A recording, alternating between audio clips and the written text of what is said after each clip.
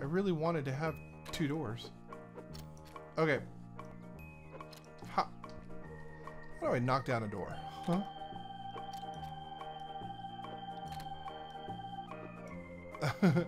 this is funny.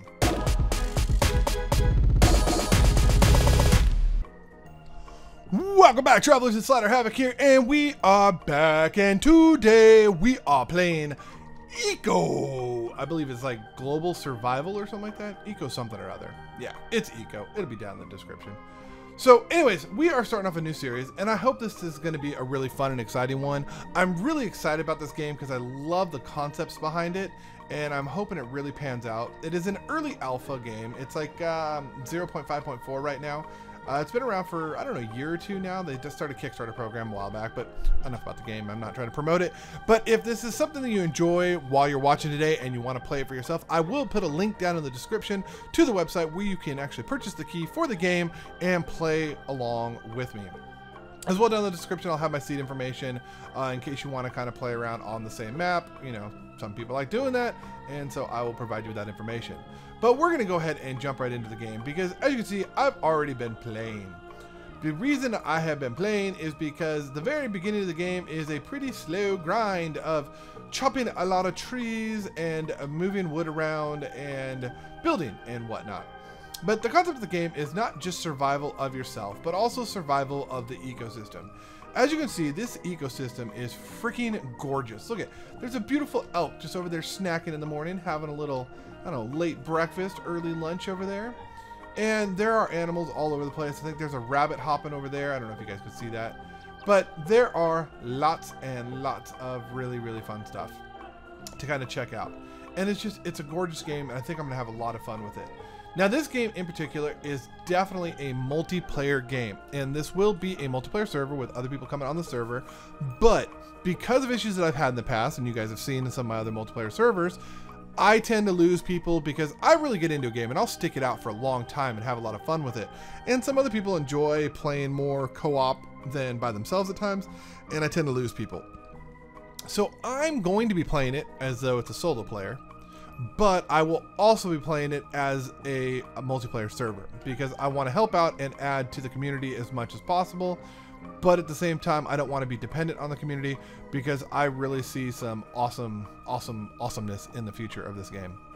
So without further ado, I'm going to kind of give you a little quick breakdown of some of the stuff, and then we're going to get going on what my next objective for the day was. But uh, for to start, go ahead and do this real quick. Over here, you've got the map. It's the entire world as a globe. It's pretty freaking sweet. And you can see as I kind of show you stuff right here, like this is my house right here. This is where I'm currently standing. And then over here is one of my other buildings, I believe. And over here, I don't know. I don't know what's what exactly where I'm standing right now. Um, this actually very likely could be both. Okay, so this is my building that I'm looking at right there, and I have a campfire over there and then in here I've got a campfire and a couple tables. So the the map is actually pretty cool. Like it shows you where stuff is if you need to find it, and then I think that's me standing right there. And so if there's specific things you need, you can kind of zoom in on the map and see where they are. Because these, inevitably all the concepts are all the different like tables and crafting areas and stuff like that. It's supposed to be a universal environment where everybody can kind of get involved. Now, down here in the bottom left-hand corner, this is kind of like your personal information.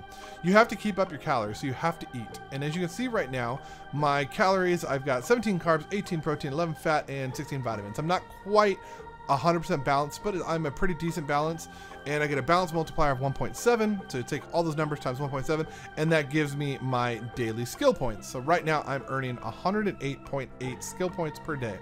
Now that day is an actual in real life day. So from 8 o'clock in the morning today till 8 o'clock in the morning till tomorrow, that is a full day. It's not an in-game day. Because, and I, I clarify, because over here you have in-game days. And you can see I'm already on day 38. Um, I think one day is 24 minutes, I believe. I believe it's a second a minute, so a minute an hour. So yeah, 24 hours. So 24 minutes is a full day. So I've been playing for a little while.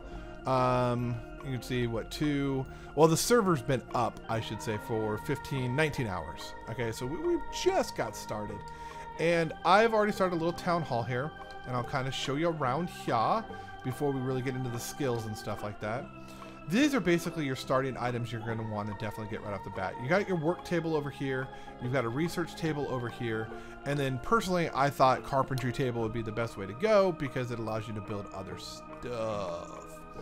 And so I've got the carpentry set up over there. And that is basically our little town hall. I got a campfire over here if you need to cook up any food. Campfire's chilling right over here. Currently there is nothing in it. And yeah, there's nothing because I've kind of been working over there. And the reason I've been working over there, which we'll get to in a minute, is because I am concentrating on food to begin with. Because getting your balanced nutrition and getting as many skill points per day is like very, very important. At least to me it is. And so for that reason, I want to concentrate on food right off the bat. But this is eventually going to be one really big town. Like we're going to have a full-on city going on here. And so Town Hall will eventually evolve and it'll become bigger and better and prettier looking, as well as like my little log cabin restaurant over there, which will be bigger and better and prettier over time. But I do want to show you some of the things that I think is really cool about this game. Unlike a lot of games where you harvest the area, like let me go ahead and pull out my scythe here and I give a little swipey swipe to the grass. Like you'll see, I picked up, what did I pick up? Plant fibers. And, oh, there they go, number seven, plant fibers. And you can see now the grass is cut down, but it will grow back. So I can keep cutting down all this grass to get plant fibers and plant root and stuff like that. And these are all, you know, materials for cooking and all the goodness. And basically it will all grow back. You know, as you can see, I'm not trimming it totally down. But what's really cool is like this area, I have to admit, used to be completely populated with trees. Um, as you can see, that forest is pretty dense, and it was up here too, but I chopped it down to start my two cabins, and I just saw it a second ago, where'd he go? And trees will automatically just grow on their own. This little guy right here is a tree stump, and you can kind of see, I don't know if you can really see that, I'll zoom in when I edit this, the little green circle around that branch, it's because that's a branch of a tree. It's a little baby tree. And it'll grow up to become big and strong and stuff like that. And then also around here, there was a lot of corn, but I, you know, cut it all down. And so as you can see, I've got little baby corn stalks growing. And they're doing their thing, and eventually they'll become corn, and I'll have corn. It's cool. It's really, really cool. So that's enough of breaking down the game. There's other stuff I can kind of show you real quick, I guess. Uh, you can turn on and off your chat log down here. Your backpack, you can show it or hide it down here. You can see your avatar, and if you want to change anything about him, you just go to edit. And for some reason, I cannot keep my hair color the way I want it. I don't know why, it just keeps turning back to green. But there we go. So there's my little dude right there, and I can hide him. Um, there are graphs that can show you like the populations of the world, but I'm not going to do that because my IP's there. And what else do we got? Oh, yes. And then laws. This is another one that will take you to, you can propose a new law, and this will take you to a web page to propose laws. You can law name it, and you can, you know, uh, each player may or may not, well, this is may not, you may not kill, and then you can say one, and we'll choose one wolf. You may not kill more than one wolf a day. And you submit it, and then everybody votes on it. And if everybody likes it, then it will pass.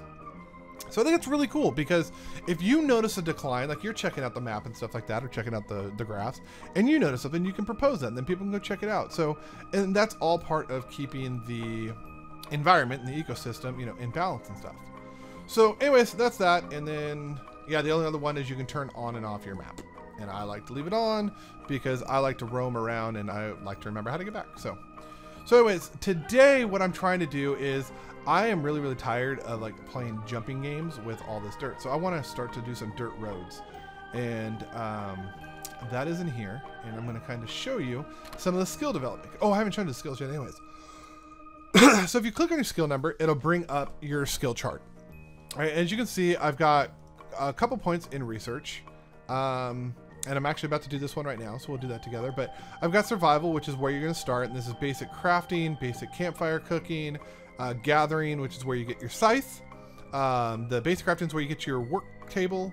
Um, hunting gives you your bow, labor gives you your shovel, logging gives you your axe, and mining gives you your pickaxe. And as you can see, I've done all these, but they're all just at level one. Oh, I guess these are at level two because I had to get other stuff. And uh, I've also opened up cooking because that's what I'm going to be concentrating on. So you can see I've already spent some points here and I'm going to be continuously leveling that up uh, right now. But what I want to do is I want to get uh, dirt ramps and dirt roads. I want to start connecting them so I don't have to do all the jumping around and I have a straight path from one place to the other. And what I'm going to need for that is dirt. And four dirt will give me a dirt ramp. I don't know how many. Um, just one. Ooh. So that could get kind of expensive. And then uh, dirt roads is just one dirt per road. I'm thinking the ramps might be pretty big. Like they might slope up pretty good. I don't know. We'll see. But as you see, I mean to show you that, you need uh, civil engineering. And the way to get civil engineering is a skill path. And that's why I had brought up this right here because I need to go to research and I need to start my engineering. Now that I've started my engineering, I can actually go and get civil engineering, which I believe is in here. And where is the book that I need? Engineering skill book. Okay, so this is what I'm getting right now. And I'll explain this as I go, but I'm going to break away just for a second because I got to go collect 20 wood and 10 stone. And I'm going to do that. Actually, I'm going to collect like the first ones with you so you guys can kind of see that aspect. Um, I'm trying to see if I have any in storage here. I don't. Okay, so we're to go collect some wood and some stone. Hey, open the door. There we go. Woo. Alright, so I've got a little patch of stone over here that you can see I've actually been working on. And this is not like other games where you can have huge, huge stacks of stuff. Basically, what you have to do is bust out old pickaxe, and give it a little tappy tap, and that makes it like a, a softer gravel. And then you take your shovel and you scoop it up, and it's one at a time. So like I said before, it's very grindy, it's very slow, but man, I'm so addicted to this game. And so I ain't hating on it whatsoever. Yes, it's slow, but it's all worth it in the long run. So I'm gonna go ahead and collect all the uh, the rock I need to make that book, or the research book or whatever, as well as all the wood. And once I'm done with that, we will be back and we will get that book and we will get going on the road. So we will be right back. And through the magic of editing, we are back and we have everything we needed. Yay. Now, I actually can't lie, I already had some stone on one of the other tables and I remembered I had it stored there, so I just went and got the wood. Didn't take too long, but as you can see, I have the engineering skill book. I'm going to order one. It's going to take 15 minutes. So I click order and it actually is 15 real life minutes and then it'll be done. So what we're going to do in the meantime is go ahead and I actually need some dirt. And I'm thinking what I may do is uh, collect up some dirt from over here that I didn't want by my house. And there's an interesting technique I've kind of learned, which I will share with you. And I don't know if this is an exploit, it wasn't supposed to be like this, or if maybe it was supposed to be like this and some of the other aspects don't work. I don't know. But long story short, when you scoop up dirt, as you can see, I only get one scoop of dirt. I can't scoop up any more dirt, right? Just the one. I don't know if you can hear me clicking, but I can't get any more dirt. But the funny thing is, and I always do that, if I come over to say like this chest, oh, and you right click, it'll just dump it in the chest for you. You don't have to open the chest to put stuff in. So what I'm going to do real quick is I am going to throw 10 dirt into this chest. And I found this out, and so transporting dirt is actually not that bad. Or, or stone or whatever, as long as you have a chest close by or some kind of storage unit. Every table that you make has a little bit of storage as well as the chests themselves. So pretty much any one that you grab will uh, will work. And I'll also show you this. If you have a shovel in your hand and you left click and there's dirt in there, it'll just take it out. So right click to put it in, left click to take it out. You don't even have to open the, the GUI interface. Um, or the GUI or interface, whichever term you want to use for that. So I'm going to collect up a whole bunch of dirt here because we are going to want a lot of dirt to create a path from the town hall to here. So I'm going to spend the next couple minutes, well 15, as that uh, that good old-fashioned uh, research book is being made. And I'm going to just shovel some dirt, and we will be back once that 15 minutes has passed. Alright guys, so we are back, and I realized I kind of left off at a point when I was talking about, you know, some cheaty or exploit or whatever, and I realized I never explained it, but I will show that in just a second. But right now, I am going ahead and start up another work table, another workbench here, it only takes a minute. That's not going to be too bad. Because I'm going to want to move a workbench up to my store up there so I don't have to keep running down here. And I'm going to grab my brand new skill book for engineering and put that up here. And as you can see, I've made a couple skill books. I have a carpentry skill book, a cooking skill book, now the engineering, and the butcher. And so what I do is right click here, and it gives me a little scroll. I right click on that, and now I have engineering. And it gives you property claim flags. Every time you do something new, you get property claim flags, which can let you expand your reach. But right now, I haven't planted any because, well, I've got no one to claim from, so. Okay, so we are gonna, well, let's wait for this table that we can get going. Uh, I'm gonna check out the skill chart real quick because now that we have engineering, the reason I wanted engineering is because I want civil engineering, which is somewhere around here. Industry, electronics, computer service, civil engineering. There we go. Now I have the ability to make dirt roads and dirt paths, which is what we're to be doing with that dirt that I was scooping up over there, obviously. That kind of just made sense. All right, so I'm to grab my new workbench here. And actually, I'm to swap it out for some of the seeds here. And let me dump off some of these in this chest. Uh, corn is maxed. But that one's not maxed. Okay. And seeds. Maybe these seeds? I don't know. What, what are we doing here? Corn seeds, wheat seeds, corn seeds. There we go. And do I have any of these in here? Nope. And no tallow in this one. Okay. All right. So now, ah, I always want to press E to open and close this door, and it's just right click. Okay.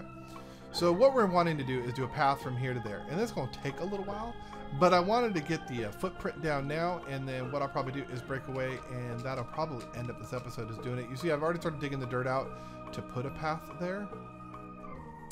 And so I'm going to come over here. I'm actually going to place the workbench. I'm thinking like right over in this corner, maybe. Like so. And this was the cheaty concept I was talking about. So remember I told you, you can only pick up one thing of dirt like this, right? I can't pick up a second. I can only pick up one, and then I can put it in here. But I have noticed that I can take 10 and carry 10. And I can go put 10 over here. So it's a it's a slight cheaty workaround.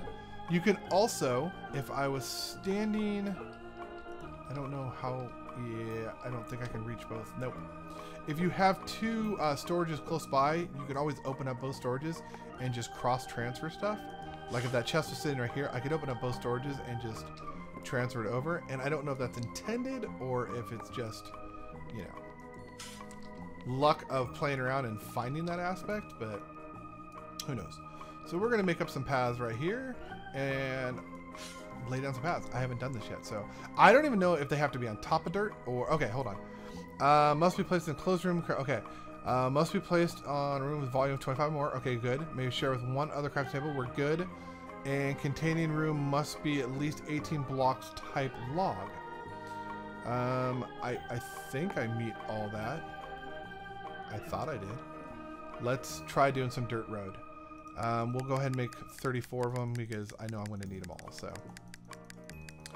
it looks like I haven't had that message pop up on a table that worked. See, it's not working right now. Why? Why are you not working? Is this two door thing gonna cause issues? Does it have to just be one door?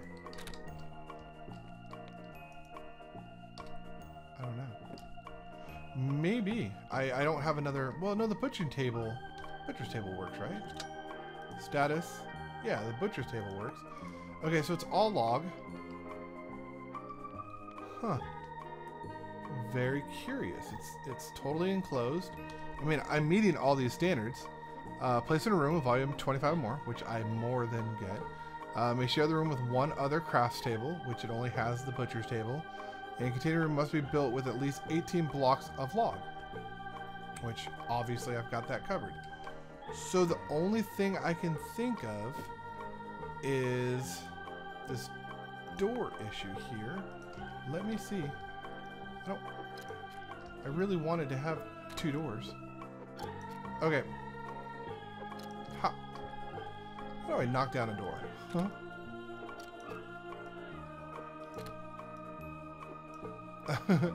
this is funny. Um, there we go. Okay. This is interesting. I can't... Let me try...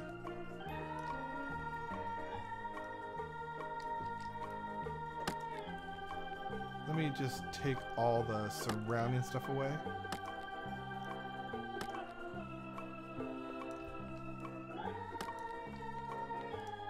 Oh, I, I had it for a second. Come on.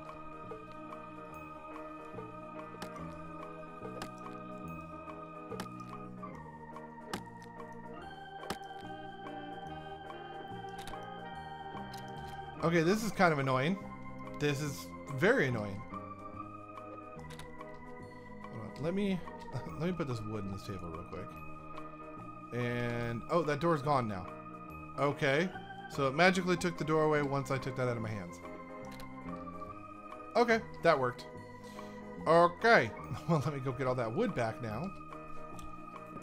And we will make it just a one door frame.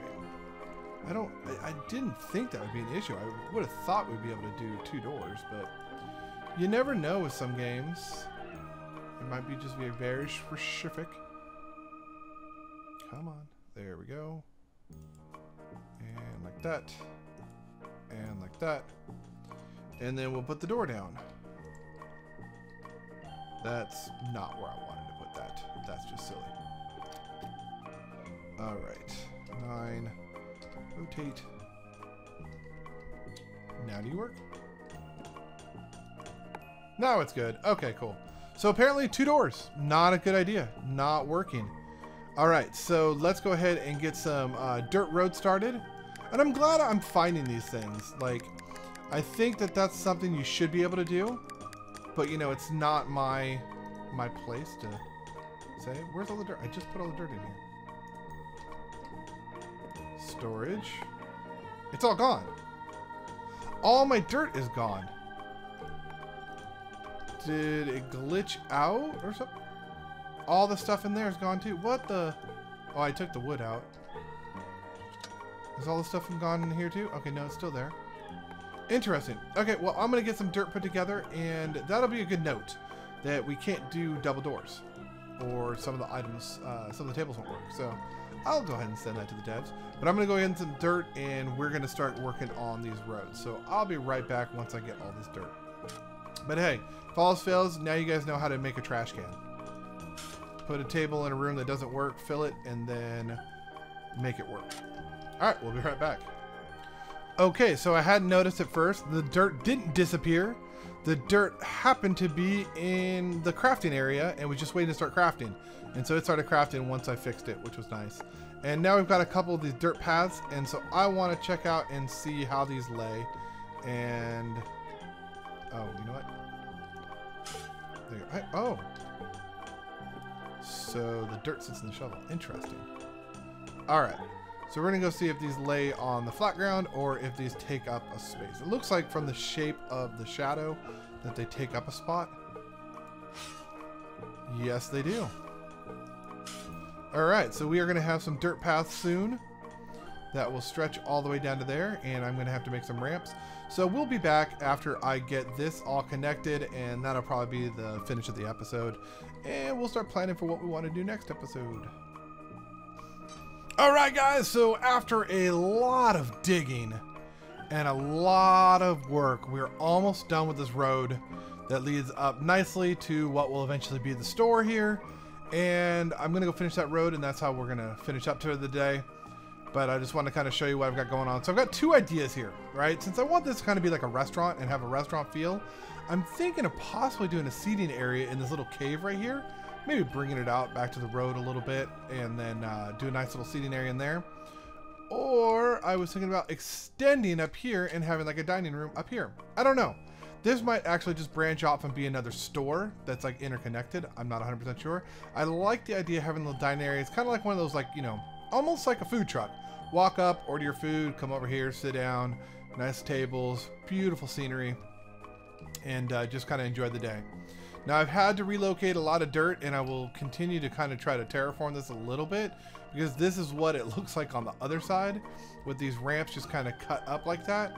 And I definitely don't think that's pretty. That is definitely not pretty enough for me. So I'm going to make some changes there, obviously. But uh, for the time being, I'm okay with the fact that I now have a road and I don't have to like jump all crazy around trying to get up to where I want to go. And I should have enough road, or path as it's called, to finish this up. I am really digging this game, and I don't know, you know, I'd love to see what you guys think about it in the comments. Um, because I love, you know, building and trying to make some pretty stuff. And I like that I'm not being attacked by mobs and stuff. And it's literally just like, let's create a really cool environment. And I really want to get like industrial and, you know, futuristic and, or not futuristic, but contemporary. And I, I think that that is definitely doable on this. And I'm really excited to kind of get there. But for the time being, you know, it's a slow roll. It's going to take time, but that's okay.